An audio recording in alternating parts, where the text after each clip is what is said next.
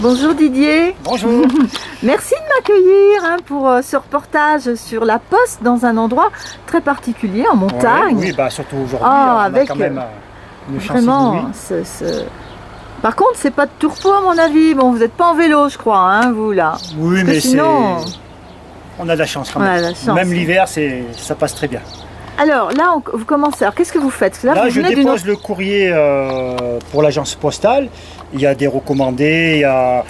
Et puis en plus, je récupère ce que l'agence postale a travaillé le- la veille D'accord. pour le, le faire redescendre sur Guillestre. Ok. Parce que Voilà. là, vous êtes plusieurs postes. euh, c'est intercommunal, je Voilà, vois. c'est des... avant c'était bah, poste, mais maintenant euh, c'est la Comcom qui a pris ça en charge.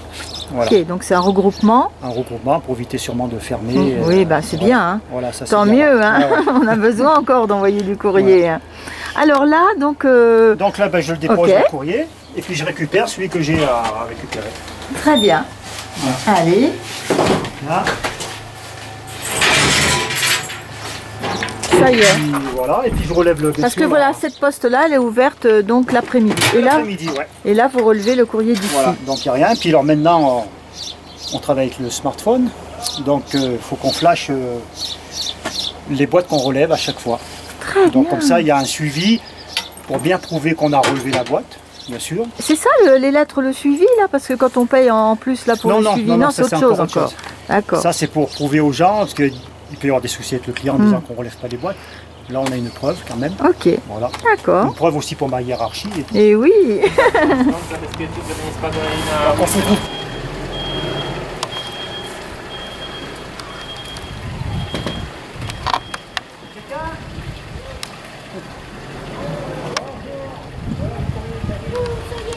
Ouais, ça va? Ça va, ouais. Eh, je crois que depuis qu'elle est arrivée, il s'est...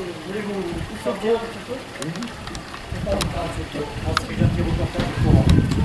Alors bonjour madame, je suis montée jusque vous. Alors dites donc Didier, vous embrassez tout- toutes les personnes comme ça du village Ouais, ils viennent d'arriver alors. Toutes les années, toutes les années, c'est super. Puis après, on se fait le bisou quand ils repartent. Voilà. D'accord. Voilà, c'est super. Puis on fait les croquants. Voilà, on est, voilà. On est euh, vraiment... euh, Hmm. Après, des fois, la terrasse, elle se remplit, il y a des apéros. Voilà. Oh là là, Ah. beaucoup. Mais moi, je suis native d'ici. Ce qui fait que, voilà. Ah, vous êtes natif d'ici Moi, je suis née au Châtelet. Ah, Et ma grand-mère, elle, était là et on revenait toutes les années parce que mes parents, ils sont partis en 45. Et ils sont partis... Vous, vous filmez là? Oui, bien Oui. sûr. Racontez Ouh, l'histoire. on va raconter, oui. On venait, on venait toutes, toutes les années en vacances. J'avais mes deux frères aînés, ma soeur, moi et mon, mon petit frère, je ne me rappelle plus trop. Mais on Et vous alliez ici alors D'accord. cette maison, c'est la maison de ma, de ma grand-mère et ben. ma maman. Voilà. Hmm. Et ce qui fait que. Et vous revenez tous les ans ici, en Voilà, vacances Ça fait 60 ans. Eh bien, Moi, à quatre Voilà. pattes, j'arrive. Et mais- quand euh, les gens arrivent d'en bas, c'est que la saison Comment a Elle- a alors le redémarré. facteur, il parle aussi avec les touristes, à ce que je vois. Ah bah oui, ils se renseignent un peu sur la vie des gens dans Saint-Véran. Et euh, j'ai expliqué que les personnes âgées ici euh, sont entourées de leur famille. Il n'y a pas de personnes euh, âgées isolées. Donc, euh, Ah oui, c'est pour ça qu'ils peuvent rester alors. ouais, c'est pour ça aussi, c'est sûr. Oui. Et puis de toute façon, même s'ils subissent un peu l'hiver et les mauvaises conditions, ils sont natifs d'ici, c'est leur village. Dès qu'une personne âgée commence à fréquenter les hôpitaux, on a du mal à les revoir venir et c'est c'est un peu la peine. Et si on leur interdit de revenir là au problème de. Parce que souvent ils sont sous oxygène, et du coup c'est très difficile à vivre ici après avec ces problèmes-là. Mais dès qu'ils fréquentent les hôpitaux, s'ils sont plus chez eux, ils se laissent un peu partir. quoi. Messieurs, dames, vous venez d'où vous? Angers. Angers. D'accord. Ah oui, ça doit être un secret dépaysement. Ah bah voilà C'est la première fois que vous veniez? Ah On ça fait, verra, on oui. fait la route des Grandes Alpes. On est parti de Tonon. Ah, et, Tonon, et on va descendre jusqu'à Menton. D'accord. C'est la route des Grandes Ah Alpes. ouais. Ah, c'est Ah, c'est un chouette beau ça. beau- On a déjà, Super. Nous, sommes, nous avons déjà fait 12 cols et il nous en reste Ouh, bah neuf dis ou donc. 10 à faire. Donc là, vous descendez sur Barcelonnette là après Voilà, Oui, voilà. oui, Ah ouais, Col de Là. Lars, Barcelonnette. voilà. Donc euh, jusqu'à Menton. vient de faire les dehors, hier Galibier, avant-hier les liserons. Bah ça c'est mon rêve de le faire et je, je le ferai à ski dès que je serai à la retraite. Toute la, la crête des Alpes, euh, j'espère la faire. euh, Les, cols, quel que soit le col, ils sont tous différents les uns des Ouais. autres. Et Bah, surtout en venant de Tonon, Oui. donc c'est les, les- les Savoies, Ouais. vous arrivez dans les Alpes du Sud, on sent qu'il y a une différence. Dès qu'on bascule après Grenoble, Totalement a différent. une- ouais, c'est vraiment différent. On a été voir ici euh, hier aussi la, la vieille ville de Briançon. Vincent, c'est magnifique. Hein. magnifique. Ah, ouais. Magnifique. je ne connaissais pas du tout. Alors vos prénoms, messieurs, dames, juste pour euh, vos prénoms. Martine Martine et Jean-Paul. et Jean-Paul. Ah bah super, vous serez sur YouTube, Martine et Est-ce que vous Jean-Paul.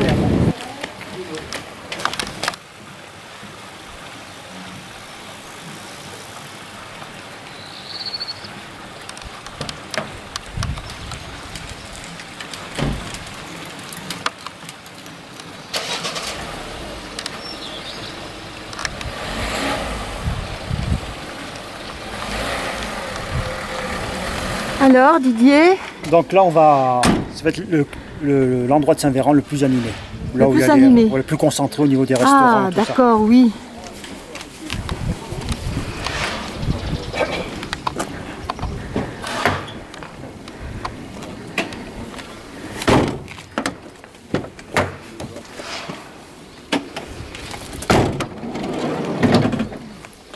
Il y a encore beaucoup de courriers alors Didier?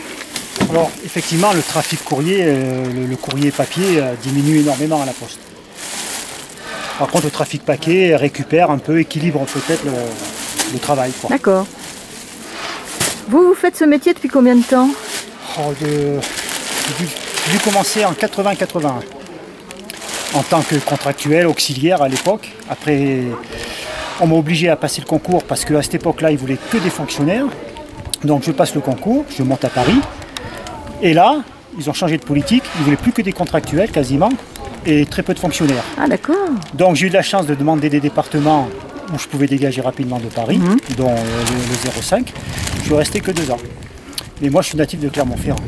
Donc pour moi Paris, non, je pouvais, je pouvais J'imagine. Et alors ce métier, vous l'avez vu évoluer, Oui, changer euh, bien sûr. oui. Bah, bien sûr, parce que avant le métier de facteur, c'était, euh, on nous demandait de distribuer le courrier, parce qu'il y en avait énormément. Donc on s'occupait pas plus de, de ça que de nous, Hmm. comme ça. Quoi. Et puis après, elle baisse de trafic, donc ils essaient de, de combler ce manque de travail par le service à la personne, par un tas d'autres services, autres que le courrier. Mais je crois que les facteurs, ils faisaient déjà un peu le service à la personne. Avant. gratuitement. Ah, voilà. Euh, voilà. C'est vrai, Donc, gratuitement. euh, maintenant, pour eux, le- ce qui les intéresse, bah oui, il faut, faut gagner de l'argent, c'est une Oui, entreprise, c'est Oui. géré comme une entreprise. Oui, ça se comprend. Ça se comprend. Ils préservent les emplois aussi, Mm. parce que ça serait une autre entreprise. Je pense qu'avec le manque de travail, Mm. ils, hop, ils en pousseraient dehors, je pense. Mm. hein. Et au niveau du chronomètre, alors ça se passe comment? Est-ce que vous, vous avez ça à faire et il faut que vous mettiez le temps que vous mettez Ouais, voilà, bien Et sûr, puis quand, normalement. voilà, parce que si c'est vous qui, par exemple, vous discutez avec une personne, tout ça, Comme aujourd'hui, je vais arriver en retard. et oui, Mais après, il y avoir une conséquence, parce que maintenant, on a une organisation où il faut que je ramène du courrier à Guillestre avant une heure et demie oui, pour qu'il puisse dégager euh, sur Marseille. et oui. Donc si je loupe le, le transport, je l'ai loupé. quoi. Ah d'accord. Bon, on va- ça arrive ça en hiver aussi parce qu'il y a la neige, ça arrive, euh, ça peut arriver quoi. Oui. hein. Mais voilà. Donc là, faut pas que je vous retarde trop quand même, alors Didier. Mais ça... Ça va, vous Mais- êtes dans les temps ouais, ouais, ça va aller. Donc Saint-Véran, en plus, c'est c'est un lieu touristique quand même. Là. Ouais, mais bon, moi qui ai vécu en Haute-Savoie, parce qu'avant de, de venir ici, j'ai vécu en Haute-Savoie. La fréquentation, ça n'a rien à voir. Ah bon? Ah oui, c'est. Si on avait le quart de ce qu'ils ont en Haute-Savoie dans certains endroits, on serait content, je pense. Pourquoi alors? Qu'est-ce qu'il y a qui fait que les gens viennent moins? Parce que ici, c'est vraiment c'est, c'est- c'est nature. En Haute-Savoie, vous allez en, en Haute-Savoie, par exemple du côté de Chamonix, ils ont quand même le, le Mont Blanc. Ils ont le Mont Blanc, ils ont Ah oui tous les, les petits trains qui amènent sur les glaciers. Ah oui, d'accord. Il y a cet attrait-là que nous, on n'a pas. Par contre, vous, vous avez une tranquillité, c'est énorme. Par contre, c'est plus famille ici. Oui. Voilà. Oui. Hiver et été, c'est On beaucoup plus famille. Voilà, surtout en paquet, c'est, on, on flash les paquets. Ah oui. Puisque le- tous les objets qu'on a sont en- sur Factéo, quoi, sur Mhm. le téléphone. Donc, au fur et à mesure qu'on distribue, on flash. C'est pour ça que les gens peuvent avoir euh, le suivi de. Voilà, de- exactement. voilà. Voilà. Et là, donc là, vous allez à l'hôtel. euh, Voilà, donc là je vais déposer ça à l'accueil. Mhm. Je sais pas si vous le montrez. Bah écoutez, euh, je vous suis, euh, Didier. Alors cet hôtel, il existe depuis longtemps? Alors, ça doit être le quatrième ou cinquième été. Parce que ici, il y avait un hôtel deux étoiles, je crois. Au-dessus, il y avait encore un deuxième hôtel. Et entre ces deux hôtels, il n'y avait rien. Ah, Donc ça- les deux hôtels ont été rachetés et ils ont fait cette structure-là. Avec des petits chalets entre les deux hôtels. Quoi. Voilà. Ok. Et ça monte bien là. Hein Voilà. Donc, euh, Et l'hiver, dites donc. alors, donc en hiver, cette rampe-là, elle est chauffée. Ah Ouais, il, y a, il y a tout ce qu'il faut en dessous D'accord. et c'est chauffé. Du coup, elle est, c'est jamais gelé. Sinon, Ah, en heureusement, voiture, personne ne pourrait monter. Eh bien oui, sinon ça serait pas très pratique, effectivement. Et Et il y a beaucoup d'appartements là. voilà, ça c'est tout le complexe hôtelier. Donc, ça doit être le... dans le département, il n'y en a pas beaucoup. Hein. À ma connaissance, il y en a deux, quatre étoiles. Un qui est au col du Lotaré. Et après, je ne sais pas s'il y en a d'autres. D'accord.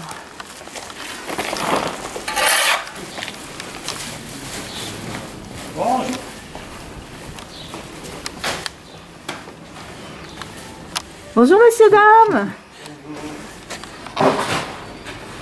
Donc en fait, il y a quand même la partie du village qui est à pied. Du... Vous Bah, posez votre perso, voiture. C'est ce que je fais. Oui. Je sais que quand il y a des collègues qui me remplacent, ils en font beaucoup plus en voiture. Comme Bah oui, mais vous, de l'hôtel, ils le font en voiture. vous êtes bien habitué peut-être. Oui, mais bon, après, euh, si on peut éviter de faire des manœuvres, risquer d'accrocher la voiture, Hum, on est mieux à pied. Ça vous maintient en forme pour vous. Déjà. bon, je fais du sport en dehors aussi. Ah oui, bah voilà. Là, il y a- il y a, l'école et la mairie. Là, Ah oui, alors l'école, l'école, elle a, elle a combien de- d'enfants, vous savez? Alors ça, je ne sais plus parce qu'il y a eu des changements là. Il y a, il y a un mélange de, de- de la commune de Saint-Véran et de Moulines. Mhm. Alors au niveau des... Là, il y a la primaire entière, bien sûr. Ben, il y a de- le- du CP jusqu'au CM2. Quoi. Bah oui.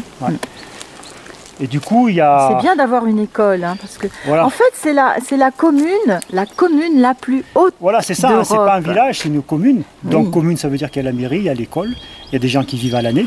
C'est faut parce que il y en a qui prétendent euh, avoir des villages plus hauts, mais c'est des villages qui ne sont Voilà. pas habités forcément Pas à l'année. Il n'y a peut-être pas forcément une mairie. et voilà. Hmm. Et oui. Donc actuellement, il y a une petite guéguerre avec Tignes actuellement. Ah oui. Qui Tignes prétend que c'est la commune la plus haute d'Europe. Et Tignes, c'est une station un peu artificielle, quoi. C'est Hmm. pas. euh, Saint-Véran était euh, existait avant Tignes. Et oui, en plus, très vieille commune. Je vous laisse monter, hein, parce que moi je suis pas aussi habituée quand même. Donc bâtiment, il y a mairie et école. D'accord. Et euh, il y a quatre logements euh, à la ville.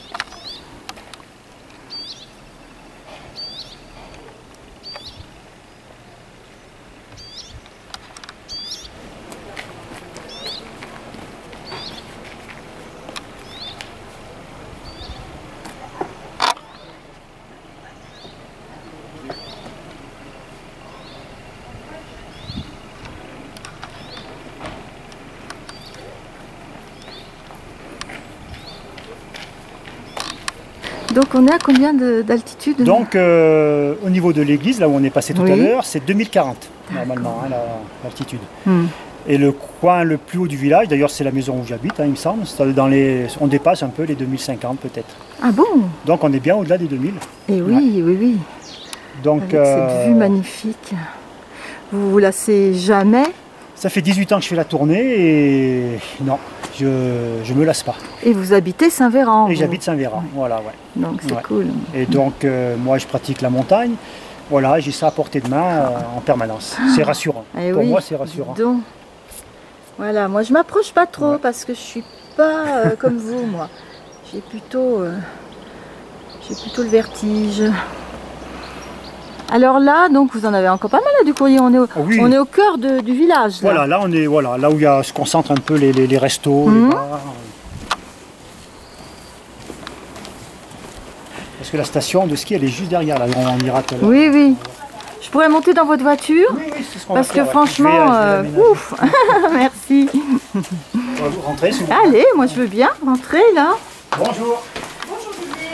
On fait un petit reportage sur Voilà. YouTube. Voilà. Alors vous, vous êtes C'est là qu'il y a là. les euh, plus belles serveuses dans ce Ah bah voilà, c'est vrai. restaurant.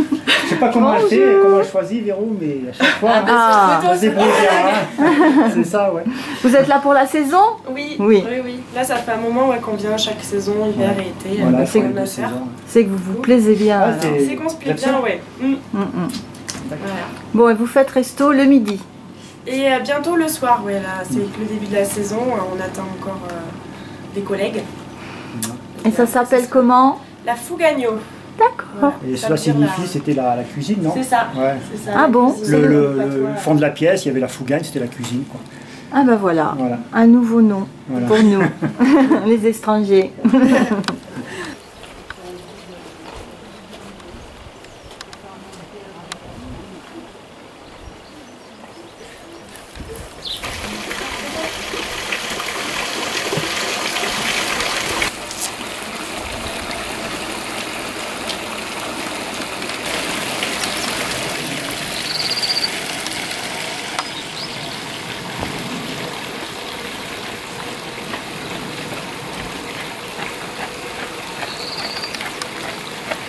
Et cette eau, elle est pure là. On peut la boire en toute tranquillité.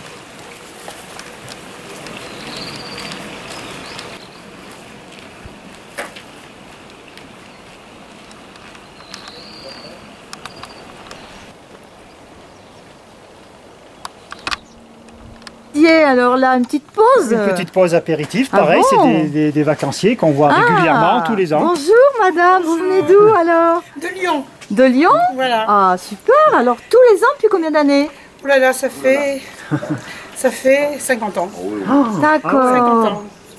Avec des petites coupures, mais enfin, Oui, voilà, ouais. on essaye de venir chaque année.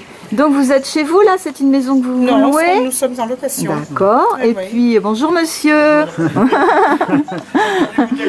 Et vous venez tous les ans, euh, Tous les ans, à la même époque à peu prendre, près Prendre le bonheur de Saint-Véran. Ah oui, puis là il y a des fleurs magnifiques en ce moment. on ramasse de ces bouquets en ce moment. hein, c'est- je peux vous c'est dire, magnifique. Je peux même vous le montrer. Ah oui, je veux bien voir le bouquet. Allez-y monsieur. Regardez Ah un petit peu oui, toutes ces belles fleurs qu'on peut ramasser. fleurs magnifiques. Ouais. Mm, mm, mm. Vous vous appelez Nicole, Nicole et votre mari Fond, alors, donc, euh, Élie. Oui, Et alors là, monsieur, vous, bonjour. c'est Alors, l'autochtone du pays. vous habitez ici Tout à fait. D'accord. Avec le magasin de souvenirs de sport qui est juste en dessous. Voilà. Et, Et voilà. et ça fait longtemps que, que, vous fait- êtes là Ça fait 55 ans que je suis là. Oh bah oui, en effet, dites donc. 55 ans que je suis là et, et 38 ans que mon commerce est ouvert. Et Là, vous prenez l'apéritif tranquillement chez vos amis. Voilà, tout à fait. Moi, j'habite juste derrière, donc je suis pas loin. Hmm. Voilà, je, je suis en train de lire les bonnes nouvelles que nous apporte ça, je Didier. le bois hors caméra. Bon, après, c'est Donc- comme ça. hein. Ça, ça paraît assez familial, ce, ce Oui, ah bah, village. bien sûr, bien sûr. Oui. C'est une grande famille. Oui. Combien est d'habitants 250 habitants. À peu près, plus ou moins. Hmm. Voilà. Et après, on a une capacité d'accueil de 1500 lits à peu près. Ah ouais, oui, ça, ça. Ouais, Et l'été, 1500. et l'été, euh, qu'est-ce qui se passe? Combien d'habitants en plus? Ah, bah après, pas forcément, il y a des résidences Eh secondaires, oui. des gens qui viennent euh, passer un séjour ici, mais après, il y a beaucoup de gens qui viennent nous visiter du fait qu'on est la plus haute commune d'Europe. Hmm. Les gens viennent nous visiter à la journée, euh, voilà, surtout juillet et août, où il y a un minimum de entre 300 et 400 voitures par jour.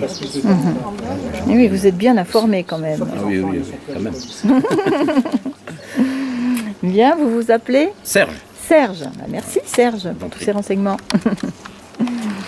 bon bah voilà, allez, ça fait du bien, Je un petit, un petit coup. euh, ah non, on, raccourci, on va pas faire comme dans le film, euh, Non, vous savez non, là. oui. euh, Ah oui, c'est pas hein pas- Eh oui. facteurs. Bon allez, on continue.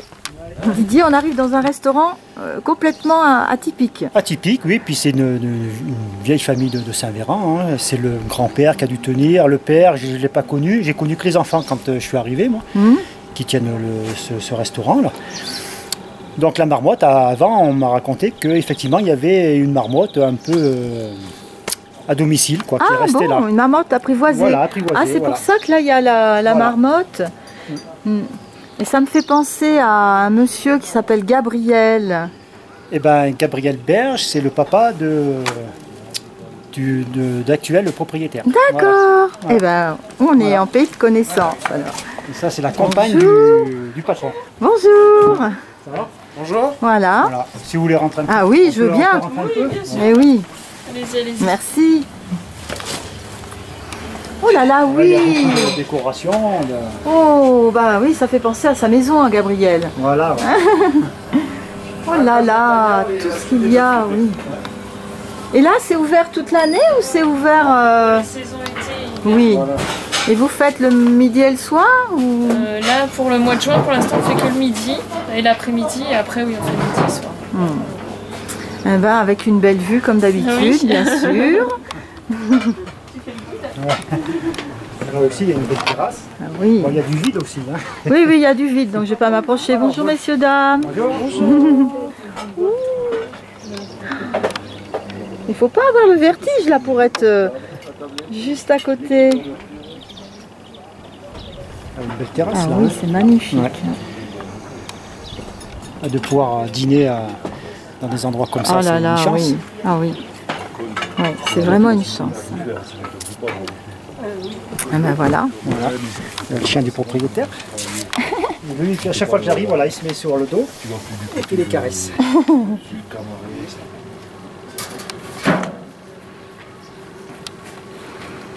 Voilà, le centre-ville est terminé alors. Voilà, là on va sortir un peu de ce cœur de Saint-Véran. là. Et puis, euh, en fait, ça fait une boucle, hein, la route là. Ah bon? On, peut, on fait le tour entier Mhm. de, Saint-Véran. Donc la plus grosse concentration de, de commerce, c'est ici. D'accord. Donc là, vous avez fini votre tournée ou euh, Non, non, non, ah non. bah oui, oui, oui, là, faut Non. qu'on aille euh, en hauteur, Voilà, là on va ça. récupérer la voiture et Oui. on va plus distribuer en voiture. D'accord. Voilà. Ah, c'est gentil de me faire une petite place parce que sinon, franchement, je pourrais pas euh, partir en courant dans les montagnes, moi là. hein. bon, c'est parti là. Alors là, en fait, c'est une tournée de combien de, de- de kilomètres On va pas très loin en fin de compte. C'est parce que c'est haut. La totalité de ma tournée, avec euh, toute la partie basse, ça fait 55 km. Ah oui. Saint-Véran, euh, c'est très court. hein. Le- la boucle entière fait 2 km. Ah oui, en effet. Alors l'été, euh, les rues, elles sont pleines quand même parce qu'il y a aussi euh, les, les ânes et les, les chevaux qui circulent. euh. Voilà, voilà, les gens qui partent en randonnée avec les ânes, euh, il y a un itinéraire qui, leur, qui les fait monter là, là justement. Euh, J'ai vu qu'il y avait une maison du soleil. Oui, c'est récent aussi ça. Et puis ils ont, il y a, on a un observatoire à Château-Renard, hein, on va regarder là. Ça bouge un peu, messieurs les, les, les, les- les personnes qui regardent la chaîne là. Donc a la Désolé. Maison du Soleil, c'est un lien avec l'observatoire de Château-Renard. Voilà la Maison du Soleil. Et là on est au pied de la station. Voilà, Ah, le départ des téléskis, télésièges et tout ça. Là, il y a des randonneurs, des, des écoles qui viennent Là, on a, ouais, à cette époque, on a ben, euh, pas mal de retraités, des quarts de Mhm. retraités, et puis des écoles. euh, hum, hum, hum. Il se trouve sur le, à côté du pic qu'on voit là, le pointu noir là. Donc c'est à 3000 mètres, 2997, un truc comme ça. Donc là-bas, à l'observatoire, ils organisent des, des nuits d'observation pour les touristes, avec un- du couchage possible, de passer la nuit entière là-haut. Donc ils ont deux gros, ils ont un gros téléobjectif. Ils ont des paraboles, hein, c'est un vrai observatoire. Oui, quoi, oui, oui, ça a l'air. euh, ça doit être magnifique. Donc vous hein. passez une nuit à 3000 mètres d'altitude en observant les étoiles. C'est, je Le pense rêve. que c'est magique. voilà. Oui, oui. Donc voilà, tout ce secteur là, toute la, ces faces sud, c'est tout du, du ski alpin. Ah, c'est Ouais. génial ça. hein. Voilà.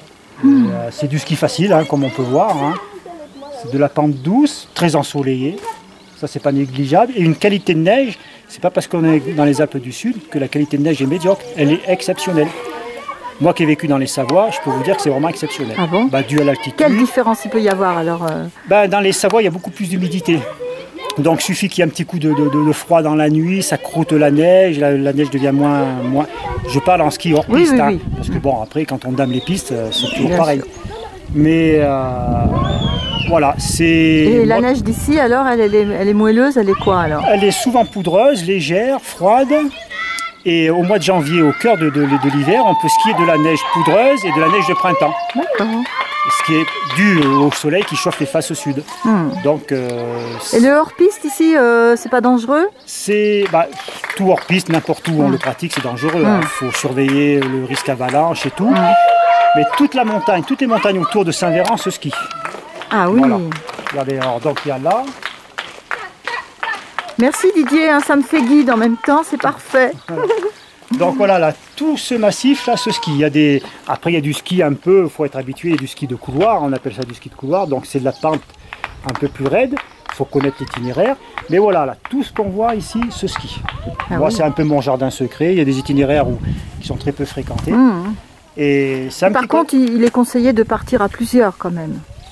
Moi, voilà, vu mon organisation, Oui, je travaille le matin, j'y vais l'après-midi et je suis tout seul. Oui, mais ça, bon. fait, ça fait 30 ans que je skie tout Voilà, seul. vous êtes De un temps en temps, le dimanche, je skie avec les copains, ça m'arrive. hein.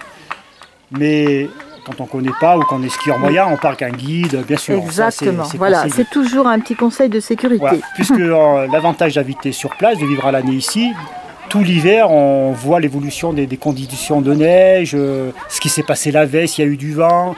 Tout ça, c'est- voilà, c'est sécurisant pour nous quand on sait ce qui s'est passé. quoi. Et puis, euh, mais j'ai connu énormément de massifs. Le ski de randonnée, pour moi, la mecque du ski de randonnée, c'est ici. Et même des guides assez connus euh, éprouvent la- la- les mêmes émotions. D'accord. Très bien.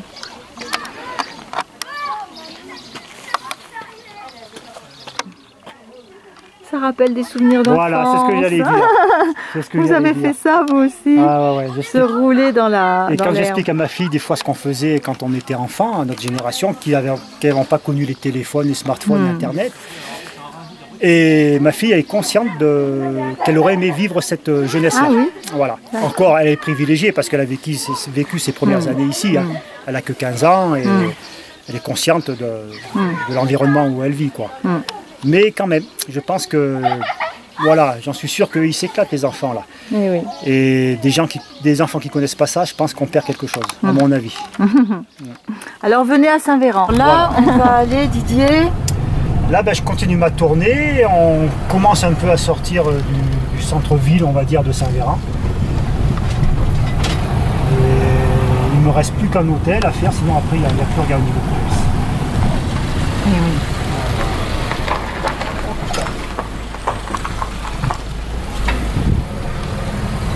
Les routes sont quand même, sont quand même praticables. Bon, le, le village, il reste enneigé, lui, hein, régulièrement. hein. Et Bon, là, Moi, depuis deux ans, j'ai un 4x4, donc euh, c'est vrai que j'ai gagné avec ça. Hmm. Sinon, il faut mettre les chaînes. hein. On met les chaînes et puis les routes sont bien dégagées. C'est vrai que dans le village, bon, les routes restent enneigées longtemps. ah oui. Mais l'accès au village est relativement facile quand même. Et là, il y a eu de la neige. euh, Cette, cette année, il y a eu beaucoup Ouais, de neige. C'était magnifique. Pour moi, ça a été magnifique. Et en plus, il a fait froid. Parce que depuis quelques hivers où les températures sont trop chaudes les après-midi, et moi, ça devenait compliqué pour le ski. Et du coup, cet hiver, ça a été magique. Donc là, on arrive. Alors là, c'est une table d'hôte, une ferme. Et il élève des agneaux. Ah bon? Du coup, c'est les agneaux que- qui sont sur la table, que c'est les siens. Ah oui, d'accord. Alors le pointu qu'on voit là-bas au fond, c'est Roche Brune, c'est le plus haut sommet du Kéra.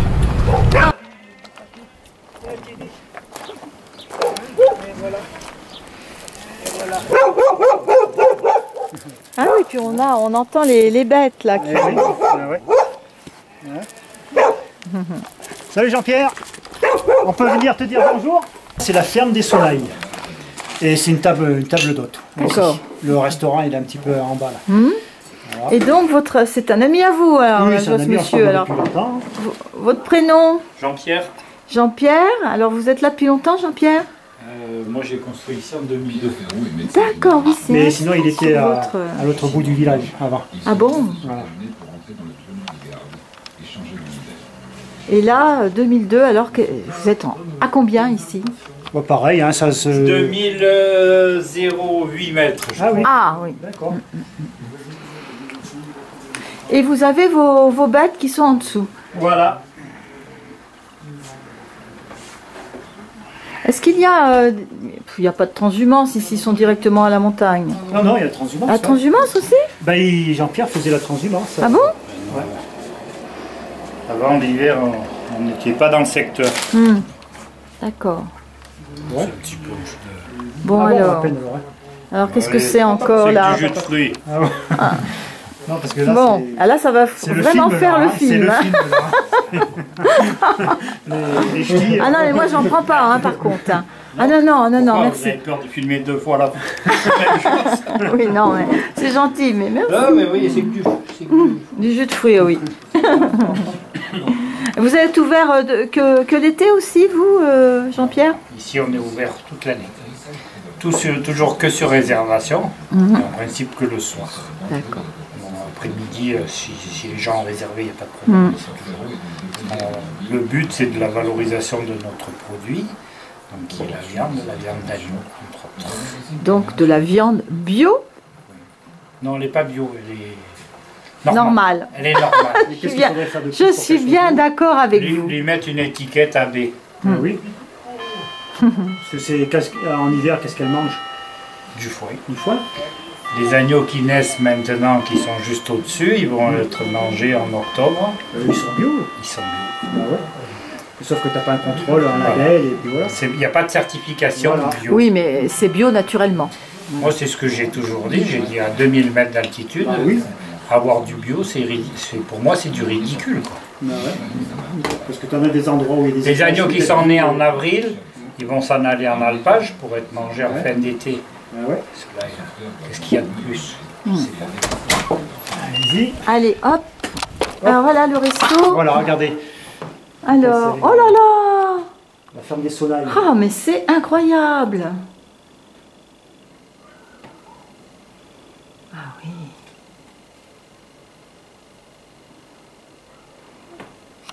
Voilà. Donc là, la saison n'a pas encore commencé pour eux. Ouais, voilà, je pense Ouais. que s'il y a des réservations le- ce soir, par exemple, on va Oui. les prendre, c'est sûr. Ah oui. Mais voilà, quoi. Mm. c'est un peu à la demande. Eh bien, super, c'est très beau. Très chouette. Avec cette belle vue toujours. oui.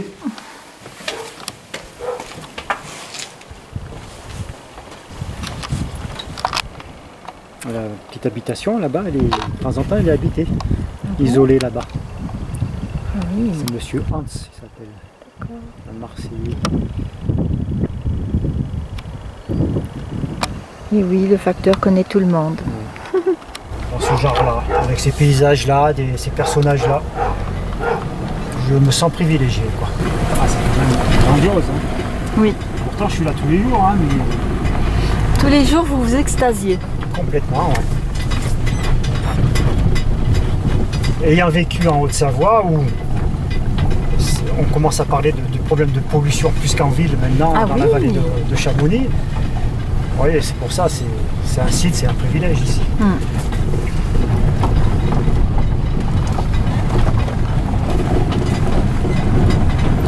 Un homme heureux au travail. Oui, effectivement, je me lève tous les matins, euh, je sais ce qui m'attend, donc euh, c'est un réel plaisir de venir travailler ici. quoi. Malgré les changements qui se passent actuellement au niveau de- du travail à la poste. euh, bon, dans trois ans, normalement, j'ai fini, je suis peut-être à la retraite. Donc j'aurais passé vraiment de très belles années ici. Et en fait, vous vous êtes fait plein d'amis aussi. Oui, bien sûr. Parce que là, je vous Exactement. vois euh, avec les gens. euh, Je vois ça un peu comme une... je, suis, je suis éloigné de ma famille, moi. hmm. qui sont tous dans le massif central. Donc je vois ça comme un peu une seconde famille, une grande famille, Mm. des gens que je connais, quoi. Et puis des contacts agréables, voilà. hmm. Espérons que ça continue avec Bien le sûr, prochain ouais. facteur aussi. hein. Ouais, ouais, ouais. Ou la factrice, hein, parce Euh, que quand même, on a, on a besoin de voir les gens, Bien on a sûr, besoin de sûr. parler. Mais c'est là qu'on s'en rend compte que quand les vacanciers arrivent et qu'on discute, mais les gens ils sont heureux. Hmm. Qu'on s'intéresse à eux, d'où ils viennent. euh, eux ils nous posent des questions, moi je leur en pose. euh. En fait, il faut être curieux des autres, je crois. C'est ça. Et ça, ça nous apporte énormément Ouais. de choses. Voilà, ben, je Ah, merci. Merci pour ce bon voyage. Voilà. Les, les lettres voyagent, mais. euh, Voilà, une nous- journée magnifique Ouais. et j'espère que ça va donner envie aux gens de venir voir ce village hein, qui Oui. est exceptionnel. Ouais. Et que ce soit l'hiver ou l'été. L'automne aussi est une belle période quand les mélèzes sont, sont en couleur. Mm. Les couleurs d'automne sont ma- magnifiques avec un ciel pur, il n'y a pas de nuages. Une douceur de vivre qui reste agréable et c'est pas si difficile de vivre à 2000 mètres d'altitude. Mm. Parce qu'on est dans les Alpes du Sud. Mm. Voilà. Merci beaucoup Didier. Voilà. Bonne continuation à vous. Eh ben, hein. Merci. Au revoir. Au revoir. Didier, au revoir.